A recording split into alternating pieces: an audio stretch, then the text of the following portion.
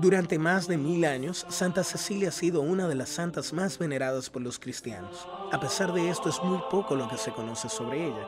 Fue casada en contra de su voluntad con un joven pagano llamado Valerio. Esta logró que él respetara su virginidad, se convirtiera al cristianismo y más aún que profesara su fe. Pero como en ese tiempo no era permitido, fue decapitado junto con su hermano. A Cecilia también la denunciaron, encarcelaron y torturaron. Pero tuvo una particularidad, fue que mientras era quemada en su propia casa, ésta cantaba alabanzas a Dios. Por este hecho es considerada patrona de todos los músicos.